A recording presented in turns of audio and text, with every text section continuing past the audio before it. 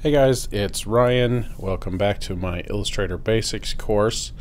Uh, this lesson is 9.1 and we're going to discuss symbols.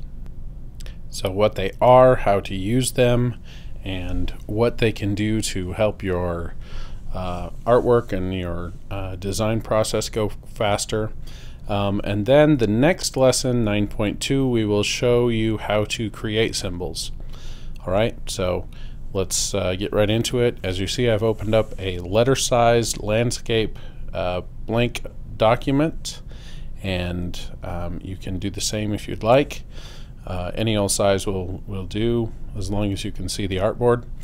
So your symbols panel is going to be over here in your toolbar if your uh, tools are, are your, um, your panels you'll see this icon that looks like a club from a deck of cards, you know, the suit of clubs, and it says symbols when you hover over it. And I click that so you can see. It's also on a on the by default if you're in Essentials workspace, which I am. Um, let me get back there to it. Um, it's also on the same panel group as your swatches and brushes. So there's symbols. Uh, another way to find it is down the window menu down to symbols. And as you see, it also has a shortcut key, Shift Command F11 or Shift Control F11 on a PC. And that will bring up your symbols panel. Now, what is a symbol? It is a predefined piece of artwork. So we'll grab this one that looks like a, an ink splot and we'll just drag it to the desktop here or to the artboard and I will do that again grab another one and the cool thing about a symbol is it is completely customizable I mean you can edit and change the uh, you can transform the size the shape. You could rotate it. You could use any of the uh, transform tools. You could reflect it.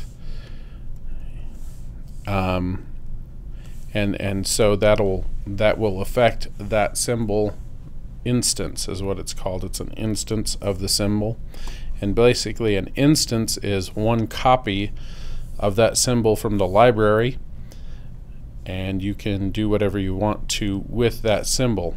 However, if you isolate that symbol and go ahead and transform it, so double click it to enter isolation mode, it, you'll get this warning. You are about to edit the symbol definition. Any edits to the symbol will be applied to all its instances. Do you want to continue? And I'll hit yes just to show you. So it reverted back to the appearance of the uh, of that default symbol. So I'll select it. We'll go up here. We'll get a fill color. Change to our CMYK sliders. I'll get a picker and get this kind of a teal green here. Now I've changed the color in the symbol itself and if I click out all instances of that symbol are now changed to that teal green color. So as you edit a symbol just be aware that that's the case. So let me edit back, go undo and edit back, uh, go back out of that. The other option you can do is click to select the symbol and then right click and do you can reset the transformation back to the default. Um, you can break link to the symbol. So what that does you can see now it has changed the artwork. When you had the symbol before all you had was the artwork bounding box. And now you can see all of the anchor points are selectable and so I can come in there with the direct selection tool and make changes to that symbol itself or that instance of the symbol because I've broken the connection to the default or to the that symbol. And that again was link, break the link to the symbol. And now I can change this one as well. This one is different than this one. And if I drag a few more, these are all going to be, you know, the same symbol that they were. So if I edit this one, go back to that teal color,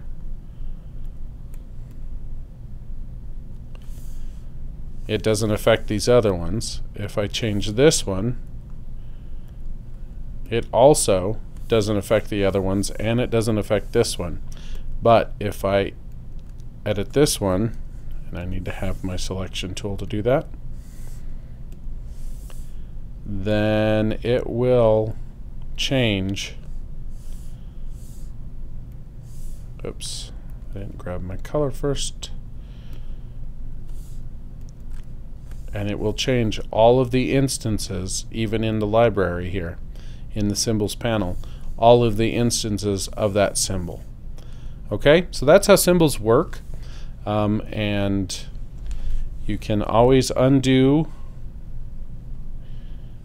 well, actually, you can always undo back to a point in that same document. If, however, you save and close that document, then the changes you make to the uh, symbol will be reflected in that in in that document. So I will make a copy, as you saw, by dragging the symbol down to the new symbol button down here, and it looks like a new page. So now I have this new symbol and we'll drag it over here and we will drag a couple of copies and I will I will make one of them unique. I'll break it from the uh, break the link from the symbol and then this other one or this one I will go in again and change the color. And this one I will I will not break the link but I will go in and change that color yes. And if you happen to hit that don't show again check mark you won't see that again. So just beware of that. Alright okay and now I will close that document well I, I'm going to save it. As untitled 1 is fine. And then I'm going to close it. And then I open again. And you see now this template or this symbol is this uh, bluish purple kind of a bluish lavender color. Don't really periwinkle maybe um, so it's this periwinkle color. This one that was the link was broken. It's just now artwork again. And so it can be this um, almost seafoam green color. And the original that I made the copy of is still black. And that's because I hadn't changed that at all. So that's how you can use symbols. Now uh, why you may want to do that is um, let's say you have uh, like a well here's a good example. Here's this button and you want to use this button over and over and over again in your artwork and now you only have to you know have that button as a symbol once. And so okay we're going to change it. We're going to change it from this blue color and we're going to go into the gradient. And we're going to change you know let's let's say we change this to more of a greenish color and give it a nice highlight looking thing there.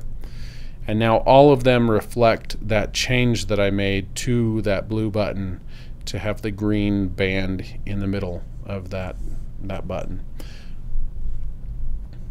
And so that that's why it's a good thing to have symbols because you can change one and it changes all over your artwork um, in the uh, next project that I'm doing with the class, we're going to have game pieces. So uh, you can see how a symbol that you create um, and use as part of your game piece, say for checkers or poker chips or something like that, and you can modify that that symbol one time and it's reflected in all of those other symbols okay?